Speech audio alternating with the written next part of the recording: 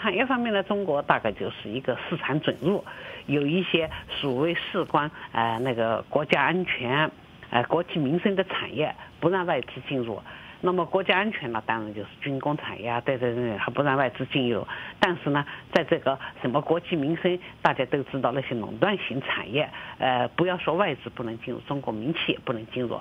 比如通信，呃，那个能源，这些都是国企垄断。所以美国如果要是想进入这些行业了，那就是等于动了中国政府的钱袋。